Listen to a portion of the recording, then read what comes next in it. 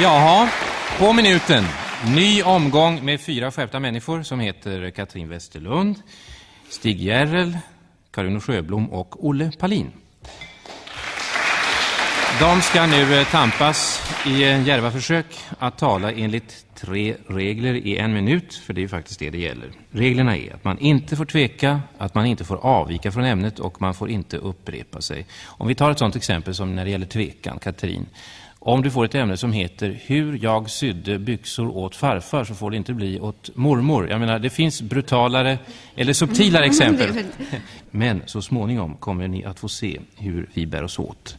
Poängkampen är eh, kanske en liten aning snårig när man hör den först, men det är den ju egentligen inte.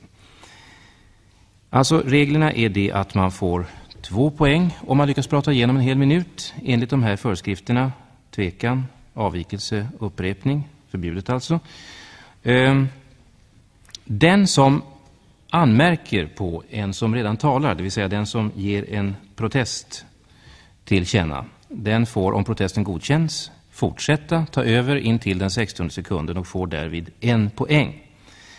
Om domaren tyckt att eh, anmärkningen, alltså protesten, är skälig, då får den som protesterar fortsätta få en poäng. Den talande fullföljer alltså till 16 sekunden. Och har han då kammat hem eh, de poäng som man dessutom får automatiskt, två poäng, så har han alltså kammat in tre poäng. Spräckt mål, målsnöret och fått fina applåder. Märkvärdigare än så är det alltså inte. Så skulle vi då begynna med den första uppgiften för denna gång. Det blir eh, Olle Palin och ämnet lyder Hur man gör en ny bekantskap. Varsågod, 60 sekunder från och med nu. Det är ett synnerligen grannlaga eh, ämne som jag har fått mig förelagt här, hur man gör en ny bekantskap. I allmänhet så får man väl försöka att tänka sig in i situationen. Man tänker så här, vill jag ha en trevlig bekantskap eller vill jag ha en bekantskap som är någonting värd? Eh, det mm, kan ofta uppstå sådana händelser då jag till exempel står eh, i en stor folkmassa på en bandymatch till exempel och ser bandyfinalen mellan Karlstad och Göta och låt säga Örebro Sportklubb att jag ser en person som jag tycker ser trevlig ut. Ja, han står alldeles bredvid mig, han står till höger mig förresten. Han har en stor skinnluva på huvudet, han har en överrock som är pälsbremad och han ser i och för sig ganska jovialisk ut. Han tar ofta fram sin portfölj och jag tänker den vill jag bli väldigt god vän med. Jag knackar honom i sidan och säger Sesso, ni är också ifrån Örebro, säger jag då. Och då säger han, visst förstår du, säger han. Då säger jag, samma här, säger jag. Och då blir han så väldigt glad så då inviterar han mig till att Ja, där kan vi ju lika gärna sätta på. 60 sekunder genompratat. Det var bra, Olle Palin, hur man gör en ny bekantskap. Stig. Jag vet inte om du har eh, gjort det någon gång, men eh, din fantasi tror du börja för att du eh, förmodligen kommer att göra någonting mycket övertygande av följande. Ämne, att bada en baby. 60 sekunder. Du eh, hade så rätt när du sa att jag aldrig har gjort det, men om jag skulle få mig uppgiften förelagd så skulle jag gå mycket systematiskt tillväga. Jag skulle först läsa i en bok om hur man gör, men jag skulle inte vara nöjd med det. Jag skulle slå ett nummer till någon nybliven mor och få en telefonintervju med henne och en del delikata och intima upplysningar. Sen skulle jag inte nöja mig med det ändå. Då skulle jag ringa till en barnläkare vad säger Olle om sånt? Det här tycker jag vittnar om en oerhörd tveksamhet. Att ringa från den ena till den andra och fråga hur man ska göra. Det är fråga om att bada en baby. Ja. Stackars kar, säger jag. I och för sig. Eh, Olle kanske kan mer och du ska få fortsätta och har eh, nästan 35 sekunder på dig. Varsågod från nu. Jag kläder givetvis av barnet det av modern vackert stickade plagg som detsamma bär på sig. Jag eh, tar av det plastbyxorna, eh, byxorna, förlåt, eh, rycker av henne också den eh, där, eh, eller ja.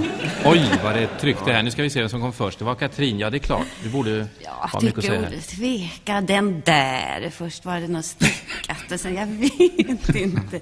Det brukar vara blöjor i allmänhet också. Ja, ja, ja, det, det Jag, tycker, jag tycker det låter sakkunnigt Katrin. Du får fortsätta eh, 20 sekunder ifrån nu. Sen babyn är avklädd så lägger man den på sina armar och håller, håller ett stadigt tag bakom huvudet under armarna. Man aktar att det inte kommer in vatten i öronen på bebisen. Man ska tvätta ansiktet först och främst. Sen tvättar man hela kroppen, så vänder man på bebisen och då ska man akta att inte huvudet kommer under vattnet. För då har man ingen bebis kvar. Sen, efter att ha...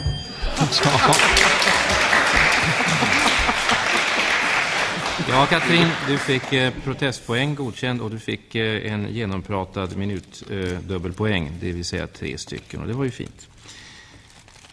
Ämne nummer tre. Min mest fantastiska frukost. Och det ämnet är enligt eh, dagordningen Katrins. Varsågod från nu.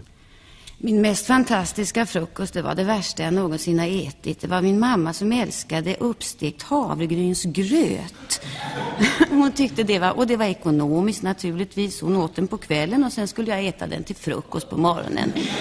Då stekte hon den i margarin. Jag fick lingonsylt och mjölk till och för att jag skulle gå till skolan riktigt mätt och stå med hela dagen så fick jag då hårda knäckebrödssmörgåsar till det här. Efter det så fick jag då någon lämplig frukt eller någonting sånt där. Var allmän... Jaha, det var Karl som kom först. Eller någonting sånt där. Ja, nu är du där igen med Ja, någonting sånt där. Ja. ja, eh, Karl det måste vi väl, eh, om vi ska vara riktigt strikta, godkänna. Du får en poäng och du får fortsätta eh, 22 sekunder från nu. Min allra värsta frukost, den bestod inte bara av denna uppstekt... Jag vet inte, men var inte det en avvikelse från ämnet? Fantastiska Jo, frukost var det väl absolut. tal om, Ja. inte den värsta frukost. Ja, Katrin, jag tycker det. Du får faktiskt... Ja, eh, Okej, ta över igen. Du får ta över, ja. Du får ju då fortsätta höra vad du har att säga om den mest fantastiska frukosten. Denna gröt, om jag inte orkade äta upp den, jag blir tvungen att äta upp den nästa dag. Och, Karl igen. ja, jag tänkte här att det var en, en avvikelse, men, men nu tar jag nästan tillbaka det igen. Jaha. Om jag inte orkade äta upp den och så vidare, sa hon där lite konstigt, tyckte jag. Faktiskt. Men jag fick upp den. Ja, Nej, nej, nej. Som hon tvingades äta upp, men om jag inte orkade äta upp den. ja nej, det tycker jag nog inte låter så särskilt övertygande. Och i alla, all synnerhet som du tvivlar på din egen protest. Ja, jag gör det. Ja, så därför får Katrin en eh, pluspoäng här och får fortsätta. Du har 15 sekunder från och med nu. Nå, i alla fall, jag fick kämpa med min gröt. Ena morgonen var det uppstekt havregrynsgröt, andra morgonen var det Vad mannagrynsgröt. säger Stig om sånt? Ja, jag tycker det här är ju en klar upprepning. Ja, visst. Uff, jag har blir så trött på den här gröten. Så den är som att dra på ett snöre i strupen upp och ner. Jag ska be att... eh, Jag tyckte också illa om sån här gröt. Men Ja. Man ska ju inte vara eh, Nej, men- partisk när man är domare, Det är så jag ska försöka låta bli att tänka på det. Katrin har ju klarat sig igenom det i alla fall. Har du någon bättre frukost, Stig? Eh, Du har eh, 10 sekunder från nu. Ja, jag blev bjuden på frukost en gång hos en eh, timmerman uppe i Jämtland och han satte fram eh, som första frukost surströmming. Som jag tycker i och för sig mycket om, men som frukosträtt är den ganska icke bestickande.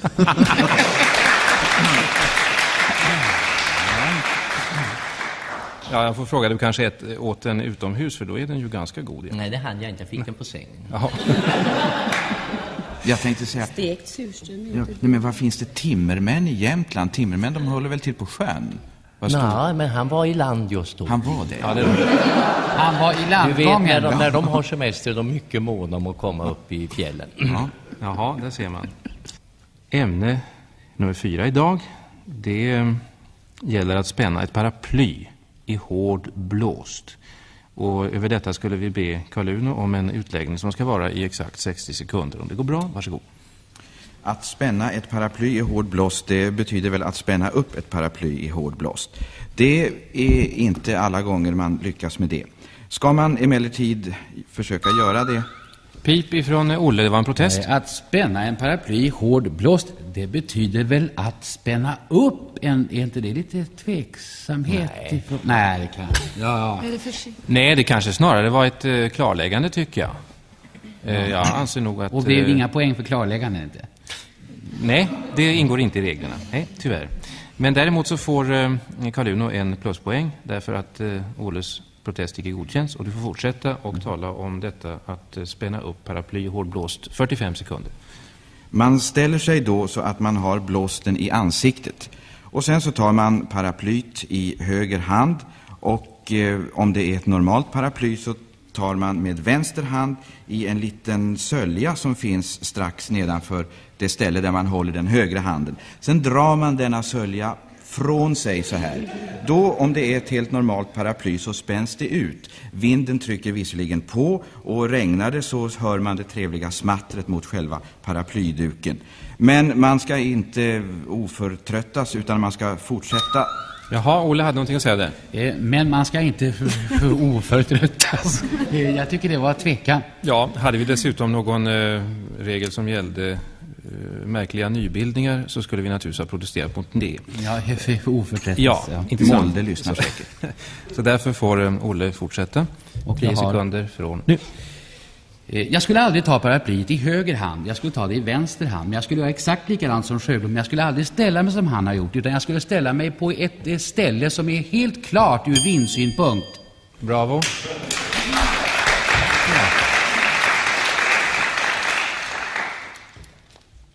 Det här är en vanlig åkomma som eh, kan irritera det närmsta, för att inte tala om grannarna. Varför jag sjunger i badrummet? Olle, en minut. En gång till, en, varför? Ja, varför jag sjunger i badrummet. Varsågod. Under min ungdom sökte jag många gånger inträde på Metropolitan. Jag hade vissa svårigheter, det vill jag erkänna. Eh, Jag hade... Stig. Jag tycker det är en, av, en avvikelse från början.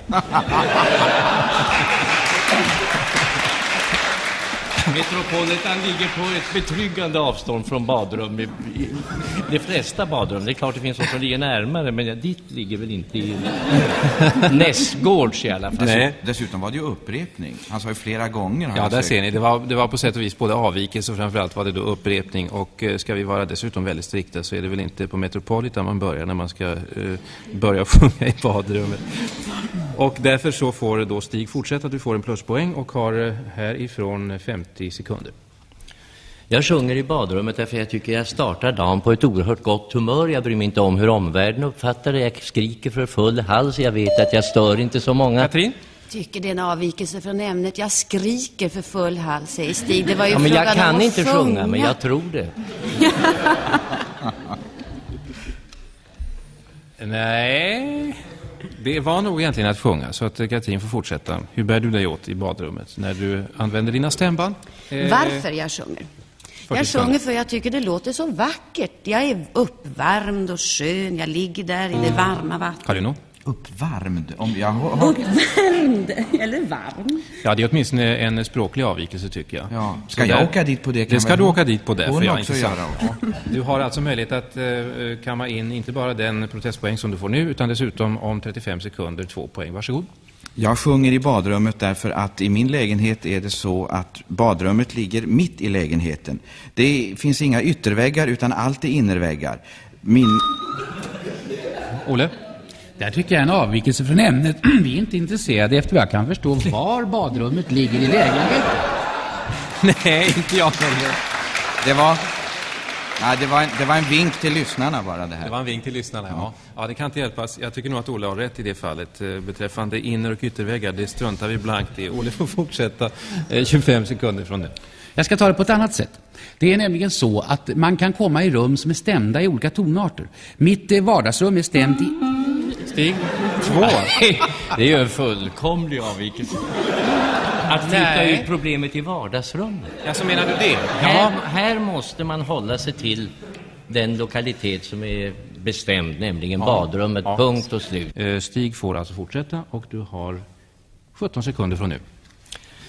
Ja, som sagt, jag är på ett skyddat ställe i badrummet. Jag får vädra mina sångarkänslor och jag tycker att det ekar väldigt bra just i ett badrum. Jag inbillar mig att jag med god hjälp skulle kunna bli en stor sångare. Jag känner det lustbetonat att sjunga i badrummet och det ger mig för hela dagen en glädje.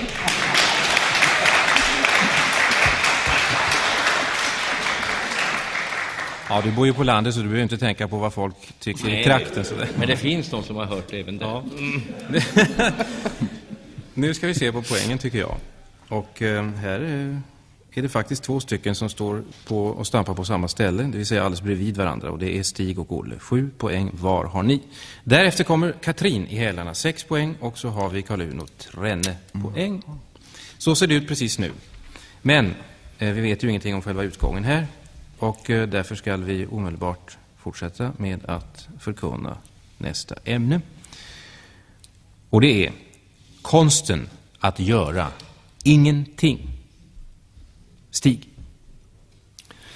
Det är en konst som jag gudskelov har haft mycket lite tillfälle att utöva, men jag tror att jag har kommit en bra bit på väg. Det finns dagar då jag vaknar och vet att jag har absolut ingenting att göra och det går mycket bra numera. Jag går ut i trädgården och gör en lov. Året runt finns det mycket att titta på där. Naturen växlar. Det kommer fåglar av olika sorter. Jag tittar på dem, jag strövar vidare. Jag sätter mig och lägger... Katrin? Jag tycker det är en avvikelse från ämnet. Du går omkring och tittar, du gör en lov i trädgården, du tittar på Ja, fåglar. göra Men du ja. gör väl någonting då, gör du inte det? Ja, men han är väl ingen Helen Keeler heller. Han måste ju ha sinnen att känna med. Jag menar, det är väl en definitionsfråga. Han Nej, jag tycker Stig ska få fortsätta. Han lägger, sa han på slutet här. Det ska vara mycket intressant att höra vad det var. Han lägger. Vad tänkte du lägga då i så fall?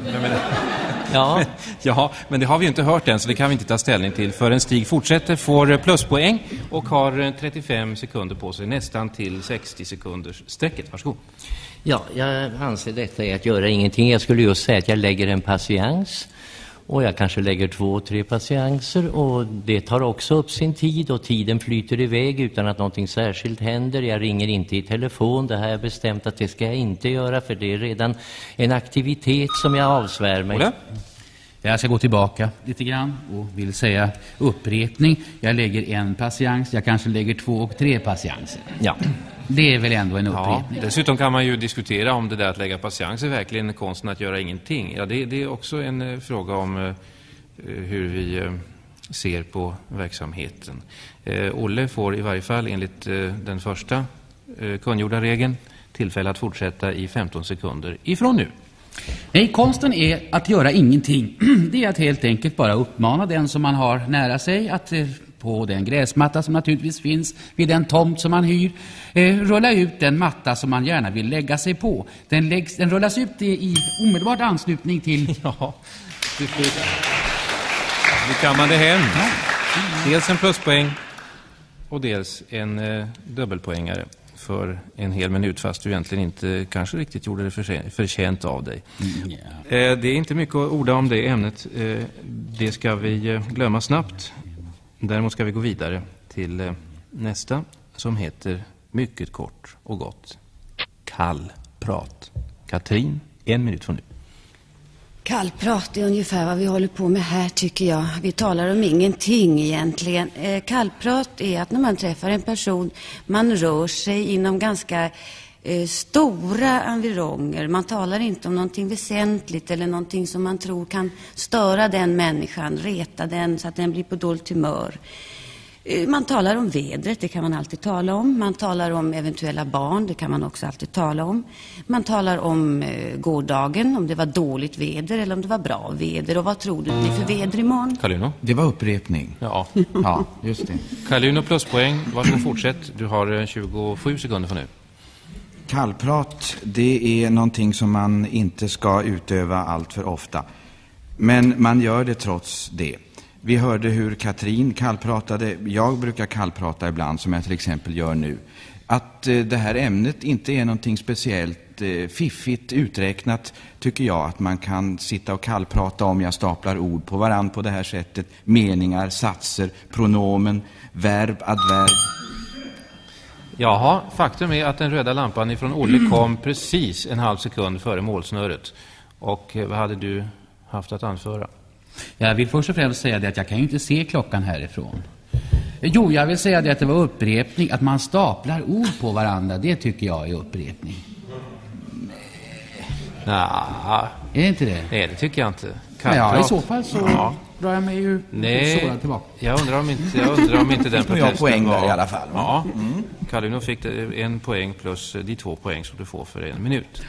Och Det var inte så dåligt. Eh, Dessutom har Olle alldeles rätt i att han inte ser någon klocka här, så det är ingen som beskyller någon för att sitta och lurpassa på två sekunder här och protestera och kamma hem poängen. Icke så. Eh, Det är ju därför ni inte ser klockan. Så det är så riktigt så. Ja, det här tycker jag är ett bättre ämne om jag nu får eh, lov att säga det själv. att bädda en dubbelsäng. Karl Uno, har du gjort det någon gång? Du får en minut på dig att tala om det. Eh, Om, ska jag fråga, är det frågan, har jag bäddat en dubbelsäng? Nej, eh, ämnet att lyder bädda att- en dubbelsäng. Att bädda en dubbelsäng, ja. Att bädda en dubbelsäng skulle man kunna tro tar dubbelt så lång tid som att bädda en enkelsäng. Men så är inte fallet. Det är nämligen så att en dubbelsäng är helt enkelt bara dubbelt så stor som en enkel säng. Och därför så gör man precis på samma sätt som när man bäddar en enkel säng. Man tar lakanet, underlakanet och lägger ut det och stoppar in det under eh, den här madrassen man har. Och sen så tar man överlakanet och stoppar det ovanpå underlakanet. Man stoppar ner det vid fotändan. Sen så kanske man har ett täcke. Ja, då, hur gör man då med täcket? Jo, då tar man täcket, stoppar ner det vid fotändan. Pip från Olle. Protest? Ja, jag tycker att det var en tvekan där, därför att hur gör man då med täcket? Ja, Det är väl tvekan därför att, Ja, ska man beskriva det så ska man verkligen veta det. ja, jag tycker det att man Olle. behöver inte fråga hur gör man. Nej. Ehm, det tycker jag är en riktig protest. Du får en sån poäng och dessutom får du fortsätta och har 17 sekunder från och med nu. Jag går naturligtvis till det linneskåp jag har, där jag vet att jag har nymanglade... Carl Uno är på bettet här. Att Palin inte vet vad han har i sitt linneskåp, det kan jag mycket väl förstå.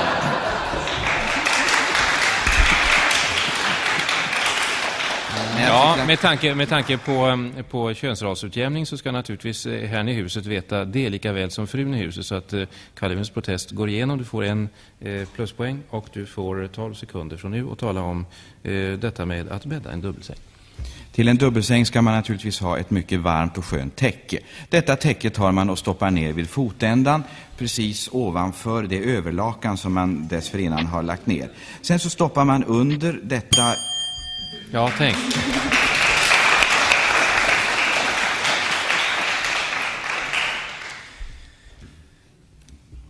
Det här är någonting som man eh, naturligtvis ofta skulle vilja göra fast man inte alltid vågar. Att gå på party utan att vara bjuden. Olle, har du någonting att eh, säga om det? För det är du som står i tur och du har eh, alltså en minut från nu. För det första tar jag naturligtvis reda på var partyt ska gå av stapeln. Sen tar jag reda på vilken färg de inbjudningskort har och hur de ser ut som har skickats ut till de som är inbjudna. Varpå jag omedelbart sätter mig ner i den kammare som jag har. Jag har en liten kammare där, där jag kan tillverka saker och ting. Tar fram ett sånt eh, papper av den typ som man har använt som inbjudningskort i det här fallet. Och eh, på mitt eh, lilla egna tryckeri. Oj, vad det trycks här. Nu ska vi se, det var Uno som kom först. Ja, han kommer ju aldrig dit med den här tvekan som han har. Nej, det kan man, det kan man ju misstänka. Man kanske ska vara lite mer bestämd och ha lite bättre metoder. Nu ska vi se om Carl Uno har sådana sådana.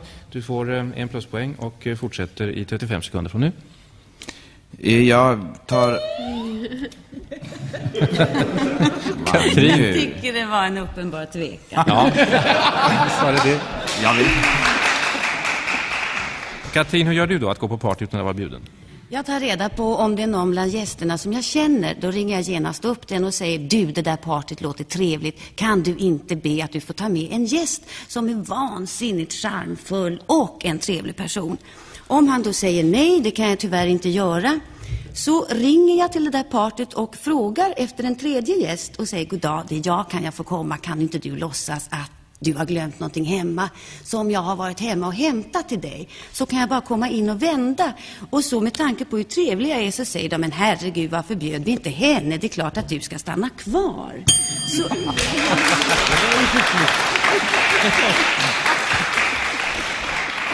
Ja, Katrin, jag kan, inte, jag kan inte finna annat än att jag tror att du har tillämpat det där.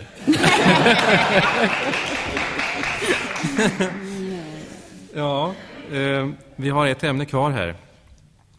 Och det är naturligtvis också eh, verkligen metodik bakom om det ska lyckas, tycker jag. Hur man ställer sig in hos sin arvtant. Vad säger Stig om det? Det finns tusen sätt att göra det. Där gäller det också att ta reda på de svagheter vederbörande har. Om hon tycker om någon speciell konfekt så inhandlar jag den och kommer upp med den påsen och hälsar artigt och säger Vad tycker tant passade med den här lilla konfektpåsen? Så ser jag på hennes tindrande ögon att jag har hittat alldeles rätt. Jag kan naturligtvis också uppvakta henne med blommor om hon nu tycker om blommor. Då kan jag skicka upp buketten innan jag själv kommer. Men trevligast är väl att göra som i forna tider, att man står i, i hallen och kommer in med buketten, tar av pappret och kommer in och säger åh vad tant ser frisk och pigg ut. Och man önskar naturligtvis något helt annat. Men man har... Olle? Ja, jag tycker att det var lite upprepning. Man, det var väldigt mycket buketter hela tiden. Och man kommer in och man kommer in. Det, det sades åtminstone vid två tillfällen. Jag kan inte säga exakt när de sades, men det var ganska nära in på varann. Så att där vill jag säga att det var en liten Ja, upprepning. du behöver inte motivera det vidare tror jag. Eh, Det, det får ju vara måtta på hur man... eh, Hon får ju inte märka att man ställer sig in. Eh, Och Ja, Olle... nu utgick jag från att det var så gaggigt. Ja. Ja, det hjälps inte. Eh, Olle, du har 20 sekunder på dig att fjäska för arvtanten. Ja, eftersom arvtanten är ganska begiven på snus så tar jag fram den snusdosa som jag aldrig fick ta fram ur den där blåa eh, byxorna som jag hade någon gång här tidigare. Carl-Uno. Den där blåa byxorna, inte bara att det var tvekan, det var ju helt... Det låter som lite utländskt. Den där blåa byxorna. Ja, ja, ja. Ja, visst. Ja, nej, det går inte. Eh, Carl-Uno eh, får fortsätta, får pluspoäng och har 10, nej, du har, ja, 10 sekunder från nu. Att ställa sig in hos sin arvtant, det är, tycker jag egentligen lite fånigt. Man ligger i själva verket redan så bra till så man behöver inte vidta några speciella åtgärder. ja, det undrar jag. Stig, eh, Det tycker jag var en ren avvikelse att betvivla. Eh, Ämnet heter ju Ja. hur man ställer sig Ja, jag är precis av den uppfattningen. Jag är precis av den uppfattningen. Stig, du får eh, förmodligen föra det här i land, för du har en sekund kvar. Ja. Det charmantaste sättet är ju att skicka upp en biljett till Riviera.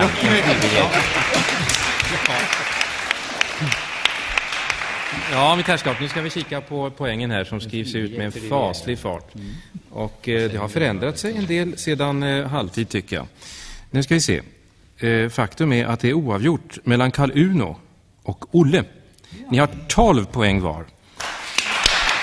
Därefter eh, följs ni tätt i hällarna av Stig som har 11 poäng och Katrin som har 9. Jag tycker ni har varit väldigt jämna faktiskt. Och det ska ni naturligtvis berömmas berömma oss mycket för.